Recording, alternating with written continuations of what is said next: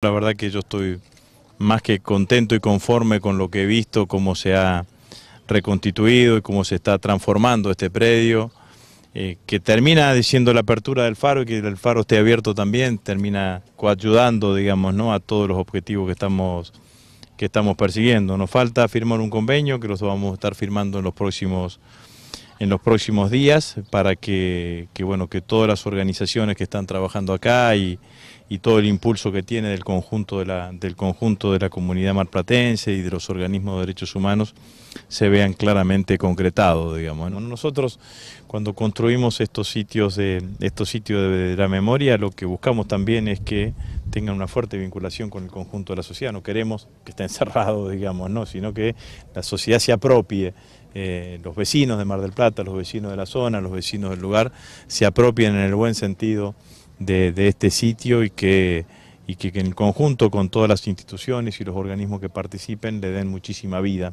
a esto, digamos, ¿no? A la muerte siempre le ponemos la vida y esto es lo que buscamos, Bueno, lo otro que vamos a hacer en un instante es, eh, ya referido específicamente al faro. Eh, después de la Segunda Guerra Mundial, eh, más de 150 países de todo el mundo firmaron una convención.